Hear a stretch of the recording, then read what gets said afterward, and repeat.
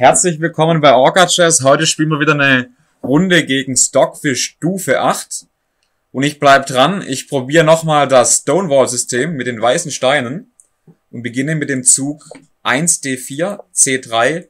Wirklich immer die gleichen Züge beim Stonewall-System. E3. F4 Pre-Move ist kein Problem. Okay, was kommt heute? Läufer D6, Springer F3. Der Springer möchte hier langfristig auf das Vorpostenfeld aber erst nachdem ruschiert wurde, auch wichtig. Läufer D3, aktives Feld für den Läufer. B6, F4 enchetiert jetzt. Ich ruschiere mal kurz. Er spielt Springer nach C6. Okay, das passt jetzt hier. Springer 5 sollte gut sein. Wenn er nimmt, hat er eine Gabel am Sack. Wenn er dem Läufer nimmt, aktiviere ich ähm, meine Turmlinie und man steht direkt fast schon auf Gewinn. Natürlich macht Stockfish das nicht. Okay, jetzt kommt Läufer nach B7. Hm. So, jetzt stellt sich natürlich die Frage, Dame nach F3 oder ich spiele jetzt Springer BD2. Ich bin da gerade nochmal kurz im Überlegen. Ich glaube, Springer BD2 ist erstmal okay. Da möchte der Springer sowieso hin. Jetzt kommt sein Zug, Springer nach E7. Jetzt ist Dame F3 zum Beispiel ein Zug oder der Zug B3. Ich bin gerade jetzt nochmal überlegen, zu welcher Variante ich jetzt am ehesten greifen soll.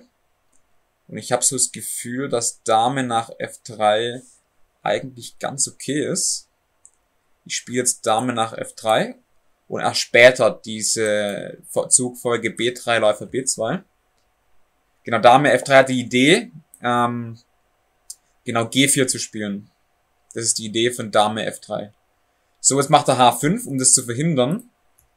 Jetzt finchetiere ich meinen Läufer und stelle den besser und macht dann, hab dann hier so eine solide Struktur, also so eine richtige Steinmauer, Stonewall-Struktur. Jetzt kommt auch schon C5 vom Stockfish. Da mache ich mal Läufer nach B2. Und jetzt kommt G6, ist interessant. Der Zug G6. Mhm.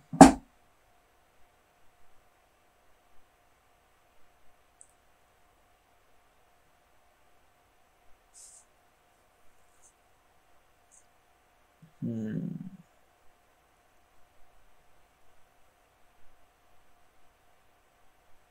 Kann ich jetzt H3 spielen? Die Frage, kann ich jetzt hier H3 spielen mit ED G4 zu spielen? Also in der letzten Partie blöd verloren. Da stand nämlich der Springer hier. Ob das, jetzt, das ist interessant, ist es jetzt ein Unterschied im Stonewall? Weil die Idee von Dame F3 ist schon H3 G4. Vorher stand der Springer da auf F5, jetzt steht er nicht dort. Und da hat der Schwarz die Möglichkeit, einmal H4 zu spielen, meine Struktur zu fixieren und dann hier die Puppen tanzen lassen auf G3. Und das war sehr ärgerlich. Aber jetzt geht es ja doch nicht, oder? Jetzt kann ich doch H3 spielen, wenn Springer F5 kommt, spiele ich meinen Zug G4. Sehe ich das richtig? Ist halt auch wichtig quasi, quasi auf dem hohen Niveau, dass man da keine Varianten verspult. Weil Stockfish wird es bestrafen. Ich bin, bin jetzt nochmal am überlegen. Aber er kann jetzt das ja nicht direkt ausnutzen, dieses Loch hier auf G3. Ich riskiere, also ich spiele den Zug mit der Idee, G4 zu spielen.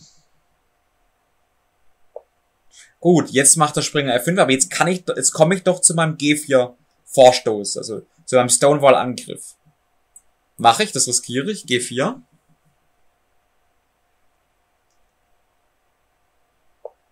Springer E4, okay. Boah. Jetzt ist irgendwie kompliziert. Okay, jetzt habe ich so viele Möglichkeiten, habe ich das Gefühl, ich kann jetzt auch einmal, ich kann auch jetzt einmal hier nehmen, ich kann da nehmen. Der hängt. Boah. Das ist jetzt ziemlich, ziemlich scharf. Springer nach E4. Das Problem ist, wenn ich mit dem Springer nehme, kann er nochmal tauschen, tauschen. Und dann kommt, ah, das ist problematisch. Also ich sehe gerade ein Problem. Ich entkommentiere jetzt hier nochmal, um es euch zu zeigen, wenn ich jetzt mit dem Springer nehme. Ich nehme mit dem Springer, er nimmt zurück. Ich nehme mit dem Läufer, er nimmt jetzt hier zurück. Ich nehme der Dame und dann kommt doch dieses, diese Gabel auf meinen Turm und auf meine Dame am Schluss von der, von der Abtauschserie. Also da muss ich wirklich aufpassen. Das darf ich nicht zulassen. Also wenn ich in den Springer schlage, sieht's fast so aus, als ob ich die, dass ich eine Qualität verliere, weil ich forciert werde in die Variante. Also Springer schlägt ist dann wahrscheinlich falsch. Okay, also schon mal, schon mal ein bisschen was erkannt. Also was er hier mit diesem Zugspringer E4 ähm, will. Weil auf den ersten Blick könnte man denken, okay, er hat den Bauer eingestellt, hat er aber nicht. Es ist eine Hinlenkung und er möchte hier eine Gabel machen. Es gibt aber doch auch noch den Läufer. Ich kann das ja auch noch mit dem Läufer rausschlagen, oder? Dann nimmt er zurück und dann bin ich ja nicht verpflichtet, den Bauern beim Springer zu schlagen, weil ich kann jetzt ja auch meine Dame dann einfach wegziehen. Sehe ich das richtig? Dann hatte ich einen Doppelbauern drin und ich kann doch mich dann konsolidieren, konsolidieren mit Dame F2 und auch dieses Feld unter Kontrolle halten. Und ich habe immer noch meinen schönen Bauernsturm. Ist das korrekt? Puh, das ist, halt, das ist halt ein Figurenknäuel. Da muss man halt wirklich jetzt tief rechnen. Ich habe mir jetzt auch 25 Minuten gegeben und bin jetzt auch die ganze Zeit quasi jetzt hier am, am Durchrechnen. Und äh, ich habe jetzt so das Gefühl, das riskiere ich. Ich nehme jetzt hier mit dem Läufer weil der Springer nervt. Der Springer da vorne ist einfach ein richtiger, richtig nervig. Den hauen wir raus. Läufer schlägt E4. So, jetzt nimmt er mit dem Bauern. Wie gesagt, ich darf jetzt hier nicht nehmen, weil dann nimmt er da. Meine Dame nimmt da und hier kommt die Gabel und es ist wieder vorbei. Und ich habe die Partie verloren. Aber zum Glück habe ich das gesehen und ich kann jetzt einen Damenzug machen aus meiner Sicht. Und aus meiner Sicht macht es doch Sinn, Dame F2 zu spielen. Einmal um diese verdoppelte F-Linie gegen den König zu halten und hier ein bisschen Kontrolle zu haben auf H4.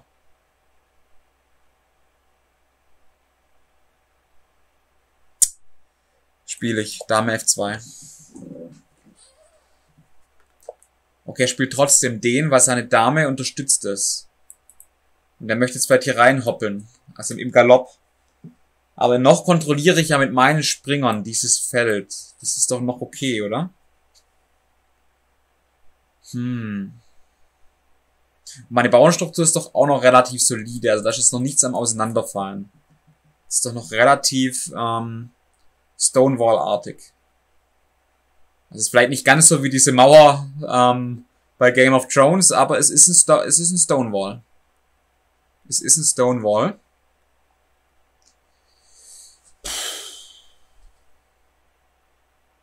Juckt es mich, wenn der Springer F3 spielt? So schlimm ist es doch gar nicht.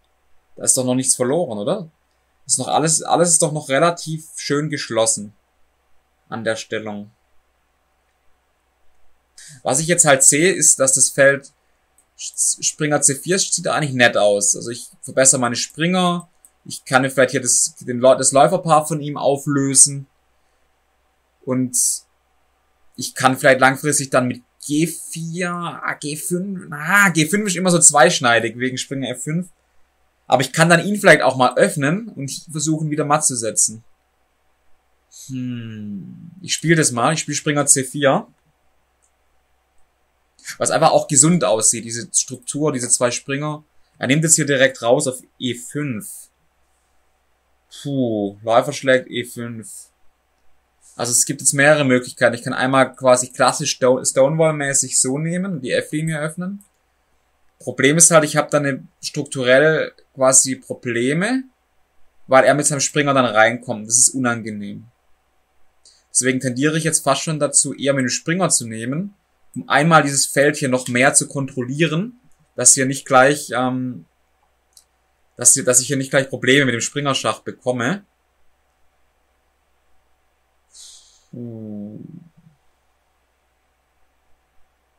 Er kann natürlich trotzdem den Springer F3 spielen, aber den kann ich dann doch rausnehmen. Und der Bauer ist jetzt dann auch nicht so schlimm, oder? Da vorne. Das ist der schlimm. Ich finde es noch nicht, noch nicht spielentscheidend. Also ich finde es noch nicht so schlimm, wenn er da reinkommt. Noch relativ überschaubar. Du Stockfish so schnell wieder. Rasend schnell spielt er. Das ist einfach verrückt gerade nicht gerade mal eineinhalb Minuten verbraucht, so eine komplizierte Stellung. Ich bin fast schon zehn Minuten dann hier am Rödeln und versuche jede Variante irgendwie zu rechnen, was, was auf mich zukommt. Okay, er nimmt mit dem Bauern. Springersteig ist nicht gut, weil dann kommt er hier rein und dann ich vermute, dass er dann einfach besser steht. Ich muss den Bauern nehmen. Und dann kann dann vielleicht auch langfristig über die H-Linie was reißen. Das kann echt interessant werden, weil die H-Linie ist schon, ist schon ein Asset, auch immer wieder. Also das muss man immer, immer gucken. Also im Stonewall, wenn man diese G4-Varianten spielt, ist die Idee natürlich auch über die H-Linie hier reinzukommen beim Gegner. So, ich nehme den Bauern zurück und öffne meine H-Linie. Jetzt macht er den Zug G5. Mhm.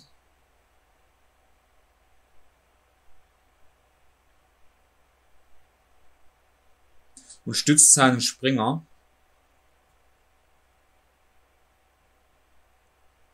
Also nehmen sollte ich den glaube ich nicht, weil dann bekomme ich hier wahrscheinlich Probleme an meinem König. Deswegen bin ich jetzt hier schon am, tendiere ich hier stark dazu, da vorbeizuziehen, also F5 zu spielen. Die Frage ist, was passiert dann auf den Zug F6 von ihm? Also F6 ist ja auch noch ein sehr valider Zug in seiner Stellung. Andere Variante ist wieder so ein Endspiel zu gehen, wenn ich tatsächlich doch rausnehme und dann Dame F6 spiele auf Dame schlägt G5. Ist auch spannend.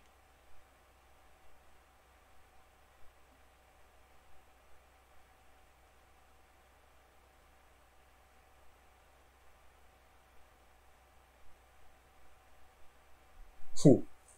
Was spricht eigentlich dagegen? Rausnehmen, Dame F6 spielen. Da komme ich, da kann ich doch forciert die da. Ah! Er kann dann hier Schach geben auf E3. Und das wird wahrscheinlich gefährlich. Das wird ganz sicher gefährlich. Okay, das geht dann doch nicht. Oder? Übersehe ich was. Andere Variante, die ich rechnen muss.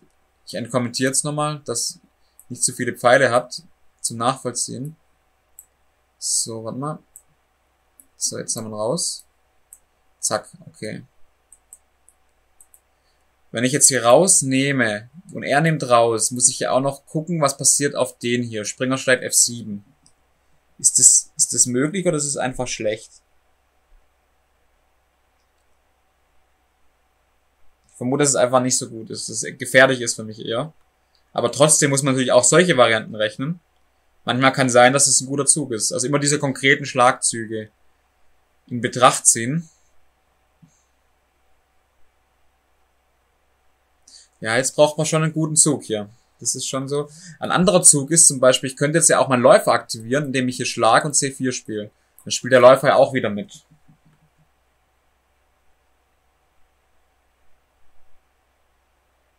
Ich muss aber auch richtig arg aufpassen auf diesen F6-Zug. Dann kann auch schnell mein Springer weg sein.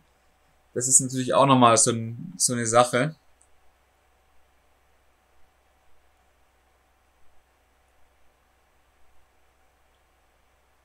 F5 sieht logisch aus. F5 sieht aus Verteidigungssicht schon sehr logisch aus, muss man sagen. Aber dann F5, F6, Springer, F3, Schach. Das ist die kritische Variante einfach. Das muss die kritische Variante sein. Wie so, wie so eine Stellung dann auch wirklich zu bewerten ist.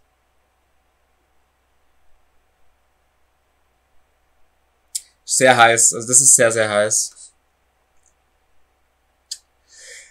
Ei, F5. F5. Ja oder nein? F5, F6, Springer G6, muss man alles rechnen. Springer schlägt G6. Ich spiele jetzt mal F5, weil ich wenig Zeit habe. Ich glaube, dass der Zug kritisch sein kann. Jetzt macht er Dame D6. Okay. Also für ihn ist es nicht kritisch, für ihn ist es nicht kompliziert. Für mich ist es sehr kompliziert. So. Jetzt kann er natürlich auch noch F6 spielen, oder? Kann ich jetzt F, F6 sieht interessant aus. Da muss ich echt, das muss ich sagen, F6 sieht sehr interessant aus. Aus meiner Sicht.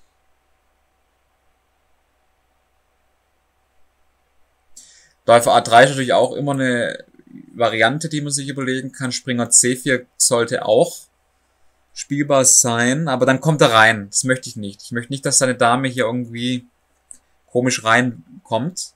Deswegen sollte ich so lang wie möglich das Feld hier unter Kontrolle halten. Das sagt meine Intuition. Und mit F6 kann ich ja die Stellung schließen. Dann hat er weniger dynamisches Spiel mit F6. Und ich denke, dass das nicht schlecht ist. Ich spiele jetzt mal F6. Weil der Springer, der hockt jetzt erstmal. Und jetzt muss er erstmal was machen. Natürlich Springer F3, aber gut, okay, jetzt kommt Springer F3, aber ist es so schlimm?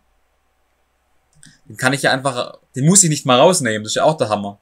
Ich kann jetzt auch so spielen, mein Turm auf Verein spielen und den Springer einfach zulassen. Ist die Frage, ob das gut ist, den Springer dort zu lassen. Also rausnehmen ist wahrscheinlich der normale Zug. Rausnehmen müsste der normale Zug sein in der Stellung. Dann kriegt er halt einen starken Bauern da vorne. Ist die Frage, wie schlimm das jetzt ist dann, gell?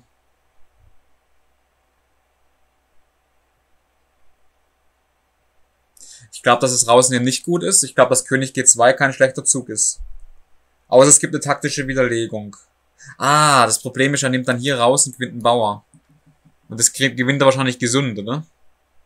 Ich kann den Bauer nicht opfern. Man könnte jetzt auch denken, wenn er nimmt raus, ich nehme raus, seine Dame nimmt, ich spiele C4, aktiviere meinen Läufer gegen den König, dass ich Kompensation habe, kann man denken. Und dass ich dann irgendwie meiner Dame hier oben matt setze. Dass ich muss die Dame halt noch dahin bekommen. So oder genau. Ja, bis dahin und dann dahin. So. Kann ich hier einen Bauern opfern? Das sieht auch nicht schlecht aus. Das Bauernopfer sieht gut aus. Ich, ich kontrolliere ja wichtige Felder, oder? Also aus meiner, aus meiner Sicht sieht das Bauernopfer stark aus. Das riskiere ich. Ich opfer hier oben einen Bauer. Weil ich, weil dann mein Läufer wieder mitspielt. Er nimmt es nicht an. Entscheidend. Er nimmt das Bauernopfer nicht an. Er greift jetzt einfach grotzfrech diesen Bauern hier an, von mir. So, das ist natürlich unangenehm. So, wenn ich jetzt hier rausschlage, dann fällt der Bauer da hinten. Der Bauer da hinten fällt einfach, gell?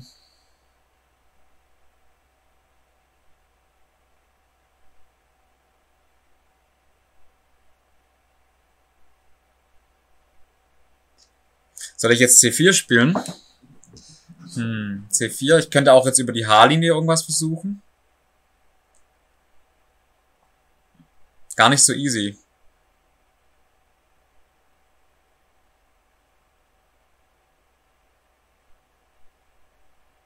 Auch interessant. Über die Haarlinie, was. Also ich jetzt, jetzt habe ich wieder noch neun Minuten. Das ist eine der, die, eine der, also ich würde jetzt fast schon sagen, die spannendste Stellung, die ich gegen Stockfish je hatte, weil sie zeitgleich positionell strategischen Charakter hat und auch noch irgendwie so Angriffsideen von beiden Seiten. Was ich jetzt zum Beispiel als Idee sehe, aber das ist, ist sehr gewagt, ist, wenn, er, wenn ich jetzt Turm A1 spiele, er nimmt jetzt vier, dann könnte ich zum Beispiel überlegen, Turm H5 zu spielen um dann hier zu verdoppeln. Und es sieht auch, es sieht auch sehr gefährlich aus. Und der Springer ist ja auch gefesselt. Der Springer ist gefesselt, weil die Dame dann da hinten steht. Ich riskiere das jetzt und spiele, ich riskiere es. Ich spiele Turm 1. Und wenn jetzt der Springer da wieder reinspielt, dann kann ich auch ein Quali-Opfer überlegen. So, das sind die richtigen Pfeile. Oder da ist ein Quali-Opfer angebracht. Okay, jetzt kommt der mit der Dame, aber das ist ja nicht gefährlich, oder? Ah, das ist mit Schach da hinten. Das ist schade. Ah, das kommt mit Schach. Das macht natürlich einen Unterschied. Jetzt darf ich, das, jetzt muss ich aufpassen, weil Schach darf ich nicht zulassen. Bei Springer H4, dann kann er abwickeln, Endspiel. Was ist mit dem Zug? Der Zug ist wahrscheinlich nicht so gut. C4, dann kommt halt dieses Schach. Dann schafft er es in ein Endspiel. Was ist, wenn ich jetzt den Springer rausnehme? Vielleicht habe ich dann immer noch, ist es, warte, wenn ich jetzt den Springer rausnehme, wie ist sowas zu bewerten? Ich habe zwar einen Bauer weniger, aber ich habe eine offene Haarlinie. Das ist immer noch nicht, noch nicht vorbei, oder? Sieht auch spannend aus. Die Frage auch, wie er dann da nimmt, gell? Ist echt gefährlich, ey. Wenn ich dann, dann darüber komme, so, und Matze, muss er fast mit der da, muss er fast ein Endspiel gehen, dann hätte ich ein ungleichfarbenes Läufer-Endspiel. Das riskiere ich. Das probiere ich. 7 Minuten 38 Sekunden. Ich glaube, dass es gefährlich ist, ihn mit dem Bauern jetzt zu nehmen. Okay, er macht's trotzdem, weil ich dann jetzt doch hier die Dame vielleicht drüber krieg. Über dieses Manöver. Okay, König F1. Meine Idee ist jetzt wirklich, diese Haarlinie auszunutzen. Okay, er spielt einfach König G7. Das wäre natürlich schade, wenn das so einfach ist, gell? Okay, er muss jetzt noch aufpassen. Auf die Diagonale muss er auch noch aufpassen. Jetzt kann ich doch C4 spielen, oder? C4, D5, weil dann spielt er einfach vorbei, oder? Ah je, das ist echt nicht einfach. Turm H5 ist natürlich ein schöner Zug, oder? Turm H5. Ich spiele mal Turm H5. Es geht halt alles, irgendwie geht's noch knapp bei ihm, gell? Sie ist... Ah. Yes, das Gott, okay.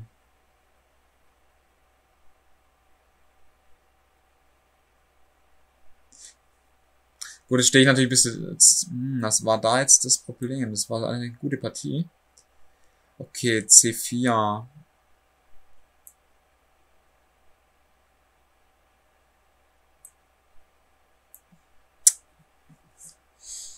Tauschen sollte ich nicht, das ist nicht gut.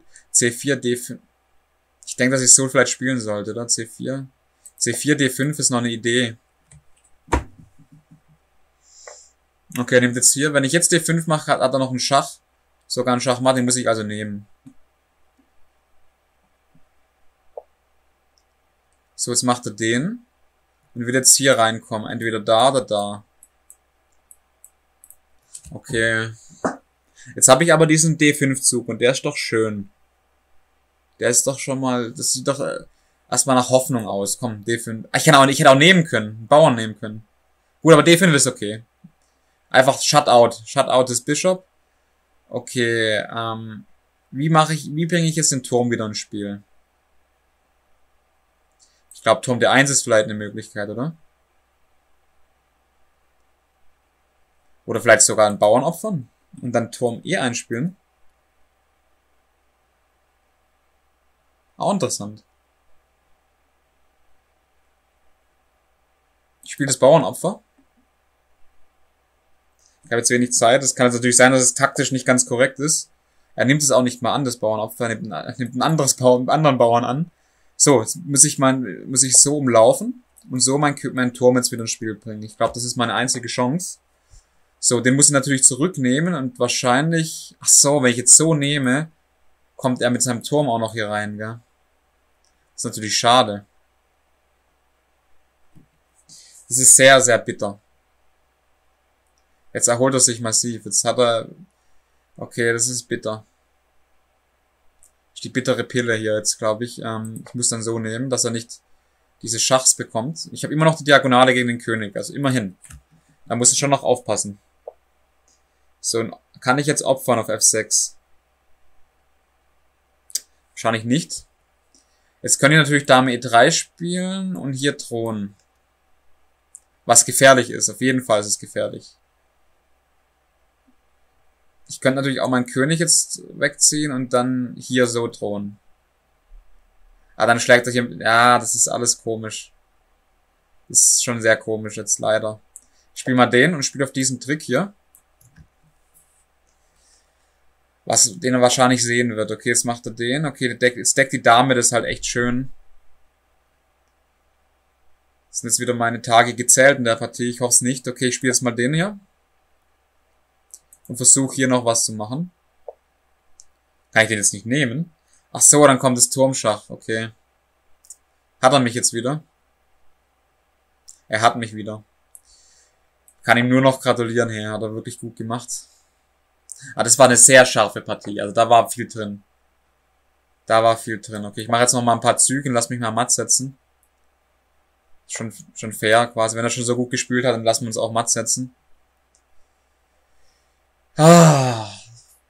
So ein, eigentlich eine richtig schöne Stonewall-Partie. Freibauer haben wir noch, vielleicht können wir da durchlaufen. Schauen wir mal. Aber die Dame kommt zu spät.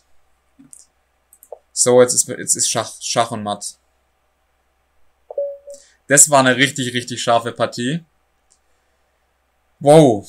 Schreibt mal in die Kommentare, war da was drin für mich? Ich glaube, da war jetzt wenig, ich, ich habe das Gefühl, das war echt, echt voll spielbar, die Stellung. Sehr lange, also bis zum Zug 30 oder so. 25, 30 war das echt, habe ich das Gefühl gehabt, dass beide irgendwie schöne Ideen hatten, aber irgendwie hat Stockfish dann ja, den stärkeren Plan gefunden und den Druck erhöht. Also gerade dieser G5-Zug war sehr schwierig zu parieren. Das war echt nicht einfach. Ja, schreibt mal, ob da was drin war. Chess is King und bis zum nächsten Mal bei Orca Chess. Ciao.